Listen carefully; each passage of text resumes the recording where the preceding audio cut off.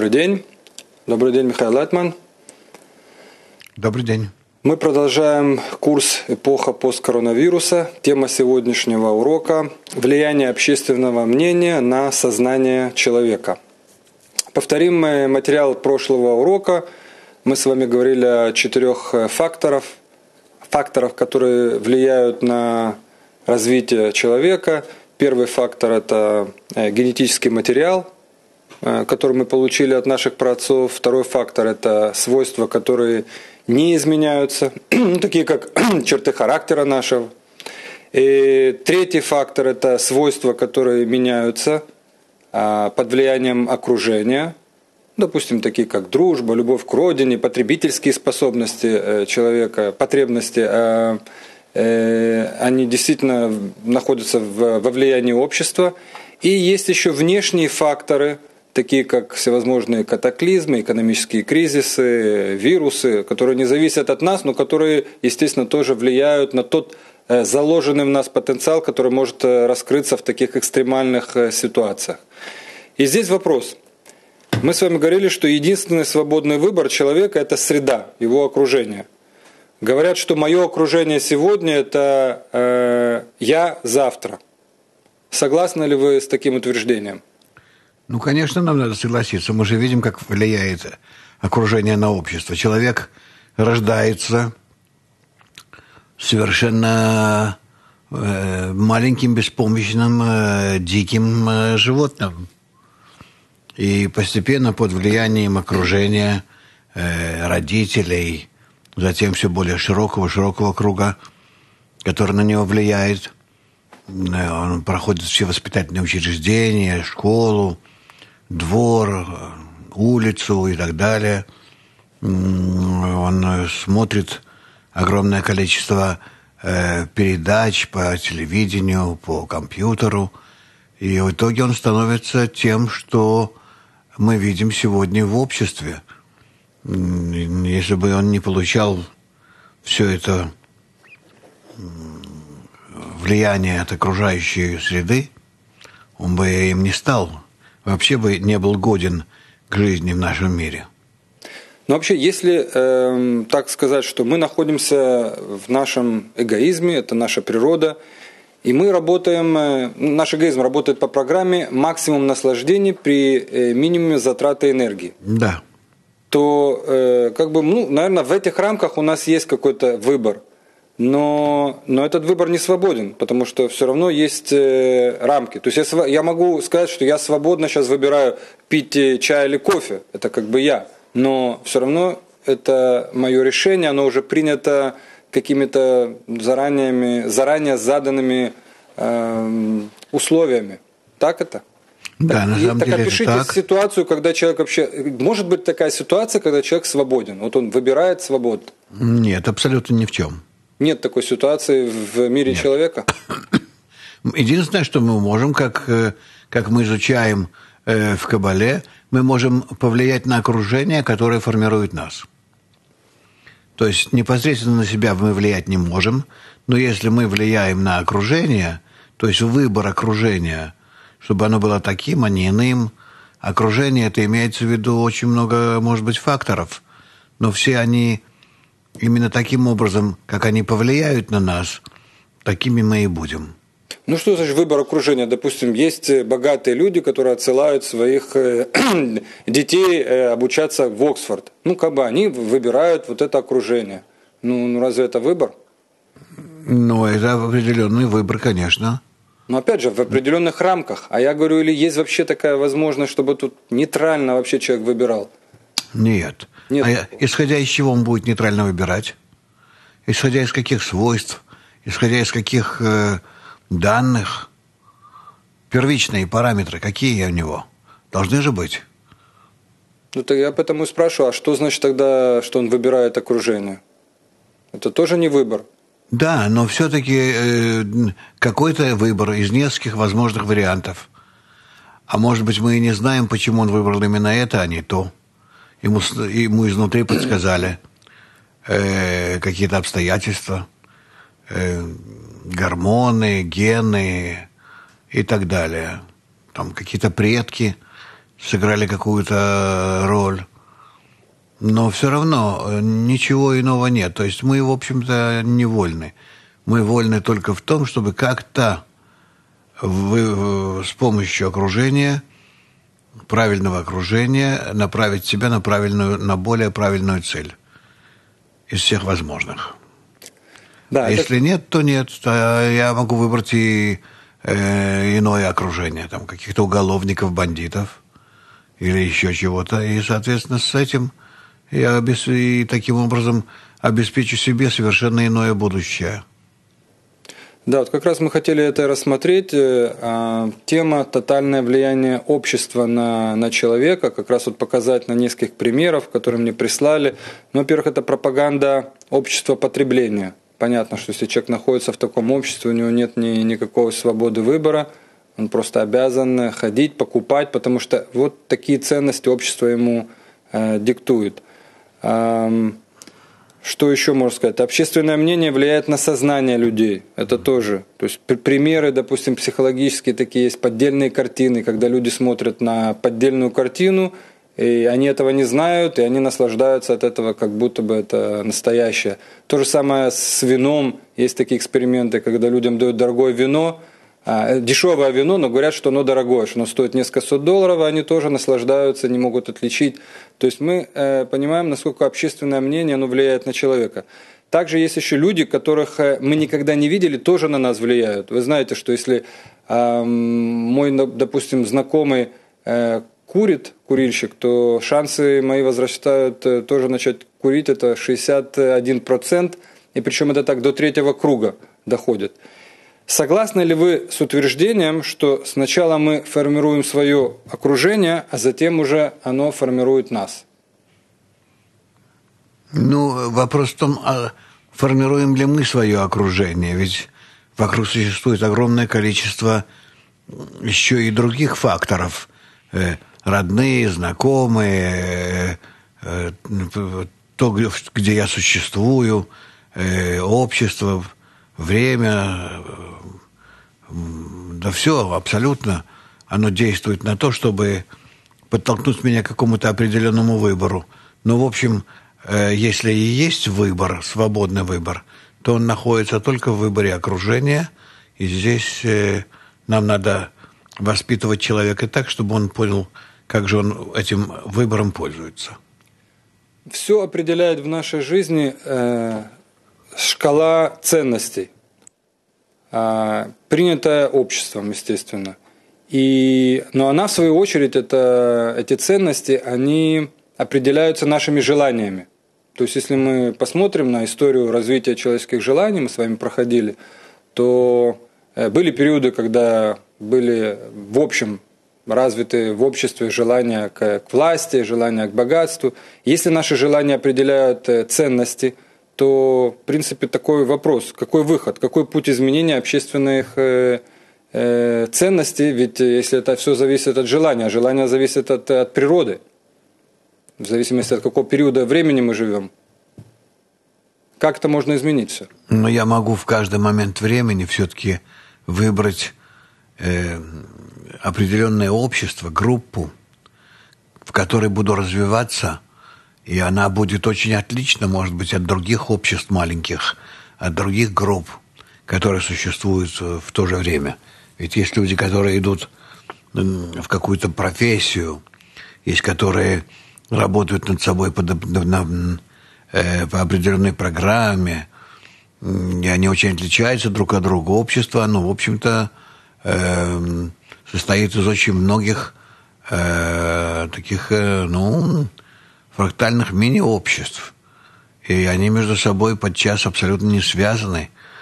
Э, не, ну, например, 90% э, э, членов общества по пирамиду Маслоу, они находятся на уровне таких вот животных желаний. Семья, в хорошем смысле слова, то есть семья, базисные такие желания, а, секс и безопасность. И, естественно, если общество диктует им ценности, это потребительское, допустим, общество, то понятно, что это попадает на такую хорошую почву, это естественно. Так как это можно изменить? Если это, это природно, так создано природой, как мы можем это поменять? Человек ничего не хочет другого, кроме вот как вот насладить себя вот такими простыми, низ, э, природными э, наслаждениями. Ну, так что? Так вопрос действительно, как, а если мы, если там, хотят поднять э, это э, общество, ну, какие-то там ценности? Он, он, может, он, он, он может направить себя э, к той же цели, что и окружающее общество, но будет его направление и продвижение к этой цели будет относительно пассивным, относительно других. Мы видим холерик, сангвиник, меланхолик, меланхолик, флегматик. Это не изменишь. Если человек такой по своему характеру, э, структуре, заданной им от природы, то он э, не совсем может себя изменить. Не, ну вы иногда говорите, что надо поднять человека на уровень человека, то есть надо заботиться об обществе, что благо одного... Ну, он, он и будет это делать, только он, он будет это делать в своем темпе. В рамках своих желаний. В рамках своих желаний. Но эти желания, они постепенно под влиянием общества будут меняться. Но темп, с которым он будет идти, э, двигаться относительно э, всего общества к той же цели, что и общество, он будет другим. Темп будет другим, в зависимости от характера человека. А, мы пытаемся иногда или даже всегда изменить э, все вокруг нас. То есть э, лидера правящей партии, банки, супруга, место жительства. Да-да. За исключением одного – это самих себя. И вот здесь слушатель задает вопрос, почему человек не осознает, что единственное, что он может изменить, так это свое отношение к миру. Наш эгоизм нам этого не позволяет. Менять себя – это значит, я не хороший. Я должен себя улучшить. Почему я должен себя изменять, должен себя улучшать? Это самая тяжелая работа. Требует огромного количества силы, вообще энергии, затрат, принижения себя относительно чего-то другого. Если я ставлю перед собой какую-то цель стать другим, то я должен сейчас э, осознать, что я, что я плохой, не тот, который должен быть, и подтягивать себя – может быть, даже с, э, глядя на других, э, становиться другим. Это очень тяжелая работа для человека, связанная с его унижением, что против его природы, связанная с, с, с тем, что он должен прогибаться перед окружающими. Это все непросто. Только если очень большая цель стоит перед человеком, тогда он может э, себя заставить таким образом делать. Ну, то, что мы делаем при учебе, там, в университете или в другом другой группе, в какой-то, э, когда мы хотим достичь какой-то цели, и она нам важна, важнее того, чтобы я просто лежал на диване. Вот каждый судит в меру своей испорченности. Да, есть такая пословица. То есть, да. как, как человеку осознать, что то, что он видит в мире, это результаты его ну, неисправленного мировоззрения, э, его свойств неисправленных. Как, как он это может увидеть? Ну, это вообще-то непросто. Это если он постоянно-постоянно э, э, контролирует себя, следит за собой. Он э, понимает, в чем заключаются его реакции. То есть занимается самоанализом э, и самопроверкой. Пытается сделать из себя нечто объективное. Э, тогда в таком случае он может э, в правильном обществе, причем, которое показывает тоже пример именно такого отношения каждого к себе, тогда он может настроиться так на, на всю жизнь, на восприятие реальности, что он будет четко отличать, что это я ощущаю в своем эгоизме, который необходимо постоянно э, поднимать, исправлять. Э, и таким образом я буду видеть мир иным. То есть этому можно обучить. Это не какие-то особые свойства у определенных людей, что он может видеть так вот себя со стороны. Да, но это очень непросто. Это же не просто в том, чтобы ни, ни, ни, никто из людей этим не занимается. Никто этим не занимается. Это не, это не обычная работа человека над собой, когда он приобретает какие-то навыки, профессию и прочее. Это, э, это уже совсем э, четкое определенное направление на то, чтобы начать приобретать новый взгляд на мир. А новый взгляд на мир – это уже совсем, совсем ин, ин, ин, ин, ин, иное состояние человека, так называемое свойство отдачи, свойство любви к, другим, то есть переиначить себя. Это все очень непросто. Это уже совершенно другая методика изменения. Это не повышение квалификации, это не изменение себя под воздействием каких-то упражнений, занятий. Это действительно э, особые упражнения и занятия, которые могут привести человека к тому, что он начнет видеть мир через, через других, как видят его другие. То есть как бы, из, как бы другие для него являются зеркалом э, самого себя. То есть... Да.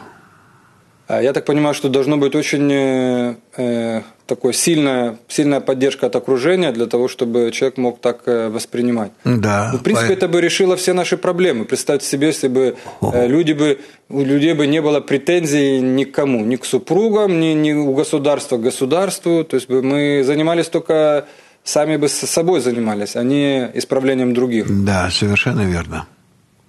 Опять же, это значит возможно только при э, хорошем окружении, которое это понимает, культивирует, и э, должны быть какие-то, наверное, все-таки у человека к этому навыки данные, да, да.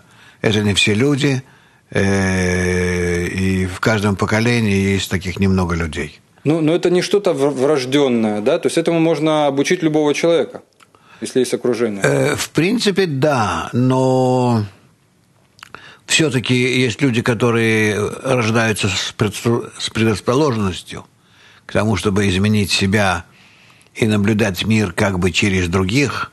То есть для этого он должен подняться выше своего эгоизма. Он должен обрести э, свойства э, связи и любви с окружающими, причем с определенными окружающими, не просто так, с какими-то там э, нарушителями или там прочими.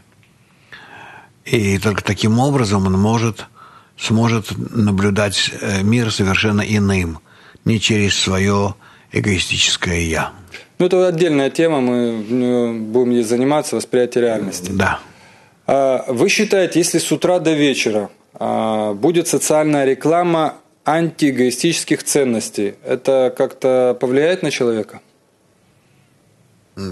Смотря какая реклама. Реклама должна быть такая, что человек должен поначалу видеть, что для него это выгодно, что стоит быть таким. Вот, и так далее. Ну, так как существует потребительская реклама, когда нам говорят, что нам надо приобрести каждый там год по несколько айфонов и так далее, так вот будет антиэгоистическая реклама. Это таким же образом может повлиять на людей или нет? Дело в том, что а кто будет заказывать эту рекламу?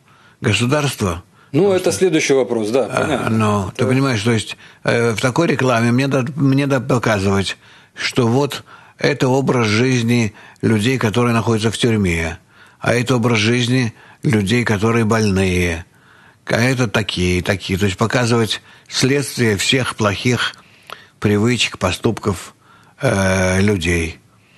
Э, женщин, мужчин, взрослых, даже дет, детей, для всех уровней – Э, это профилактическая такая э, в общем-то, программа воспитания. Ну, теоретически это возможно. Это Были же такие, в принципе, общества, где, где излишества считались каким-то пороком, ну, не, не ценились. По-моему, это необходимо, но кто этим будет заниматься, это другой вопрос. Э, нет ничего важнее для человека, чем мнение окружающих. Это вопрос от слушателя. Как формируется общественное мнение? Через СМИ. Но они в руках, вот как раз вот, но они в руках богачей. А как э, они смогут рекламировать антипотребительские ценности? Вот как раз вопрос. Это сейчас у нас особенно э, четко стоит вопрос э, в посткоронавирусную такую э, эпоху. Эпоху. То есть нас да. пытаются опять вернуть к обществу потребления, чтобы... А вот нет другого никому- выхода. У них нет другого выхода. Они понимают, что иначе что же у них останется. Люди, если начнут удовлетворяться нормальными потребностями, то все 80%, 80% того, что производит человечество, окажется ненужным. И оно перестанет это производить.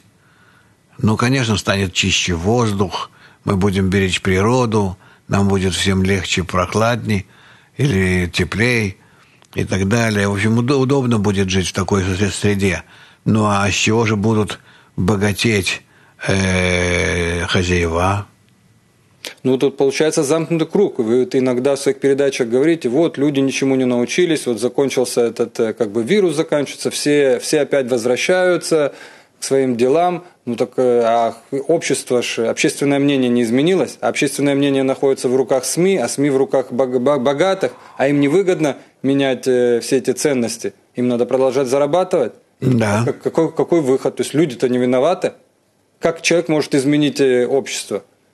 Общество должно сделать работу над ошибками.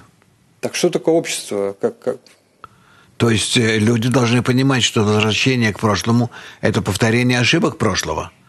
Повторение ошибок прошлого – это приведение себя в обязательном порядке к еще большему кризису. Так и каждый индивидуальный человек, он не может это осознать, только если общество это осознает. А общество в руках... Каждый индивидуальный человек тогда должен проголосовать за определенную партию, за определенное правительство, которое таким образом поддержит. Он должен, должен выйти на демонстрацию и так далее. То это есть, уже после того, как общество на него повлияет, общественное мнение. Конечно. Да, такая же говорю, общественное мнение, оно находится в руках СМИ, а СМИ находятся в руках э, богатых. Поэтому Нет, замкнутый мы, круг. Мы же говорим о том, что общество прошло сейчас какой-то период, какой-то удар, кризис. И теперь оно должно от этого кризиса чему-то научиться. То есть вы считаете, что вот страдания все-таки сделали какие-то изменения в человеке? Несомненно, они сделают постепенно, по крайней мере, если общество не изменит себя, то оно станет более э, восприимчивым к тому, что появятся такие люди, которые... э, э, то есть э, мы должны тогда... э, ну, что сделать? Тут ничего иначе не сделаешь. Это только распространение э, методики э, Ну, я, я понял, вы, да, ответили. общества. Да, то есть вы, вы ответили, что вот этот замкнутый круг, он как бы а, его можно разбить именно ну, страданиями, как бы. Страдания, они как бы вот это вот начало всего этого катализатора. Дальше-то понятно. Мне просто не было непонятно, откуда это все начнется. Вопрос такой, что объясните с вашей точки зрения, когда человек должен следовать за большинством, а когда должен следовать за мнением одного человека? В каких ситуациях? Я не думаю, что вообще есть такое понимание большинства-меньшинства, э, меньшинство в наше время, когда существует такая огромная сила у средств массовой информации.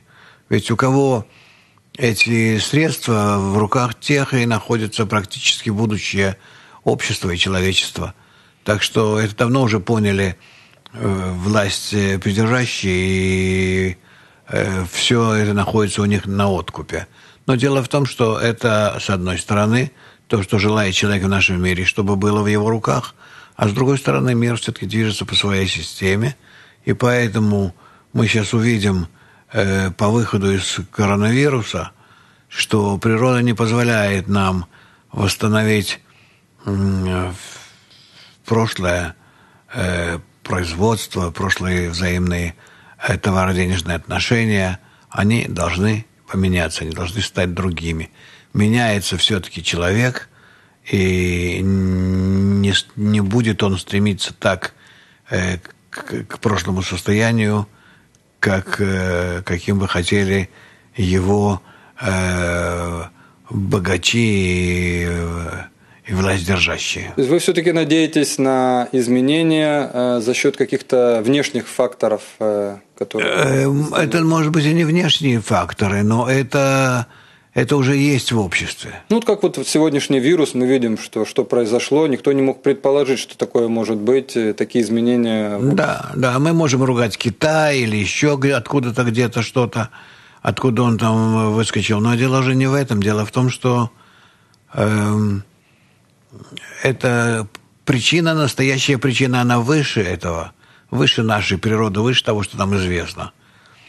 Такой вирус должен был быть поскольку человечество просто довело себя уже до того, что э, чтобы кризис этот наступил. Скажите, вы считаете правильным использовать общественные опросы для принятия решений? Э, в общем, в общем, да. По крайней мере, они говорят о том, насколько э, существует правильная и неправильная обработка общественного сознания и насколько общественное сознание, оно после всего того, что с обществом происходит, и то, что и чем его пичкают, э, решает. Так что э, данные эти, они очень важны. Правильные они или нет, это уже другое дело. Угу. Следующий вопрос. Окружение влияет на нас, людей, через три канала. Ну, так я их выделил. Первое – это СМИ, Второе – это примеры окружающих людей, непосредственно, которые вокруг меня. И третье – это через мысли и желания. Ну, есть такие уже сегодня исследования. То есть понятно, что мы находимся в одной системе, на одном э, шарике земном, и все это, мы все взаимосвязаны, мы с вами говорили, и, естественно, через мысли влияем один на другого. А какой фактор э, более влиятельный, с вашей точки зрения, из этих трех, которые я назвал? Самый сильный фактор – влияние на человека – это окружающее общество. То есть примеры других людей, да? Это примеры, это мнение. Мнение. Да. А мы, люди, можем изменить лишь свое отношение к миру. Но достаточно ли этого? Или надо все-таки, да, менять э, мир? Или достаточно э, изменить только отношение свое? Не более того отношение к миру или мир, да. мир сам мы не можем менять. Мы можем менять наше отношение к миру, и тогда мы будем видеть иной мир. С вашей точки зрения, есть ли такое понятие, как объективное мнение и субъективное мнение? Или всегда мнение субъективно? Да, это верно. Мнение всегда субъективно, но мы можем менять себя и таким образом менять свое мнение и мир, в котором мы находимся. Э, знаете ли вы методики, которые позволяют читать э, мысли человека? Считаете ли, считаете ли вы это вообще возможным?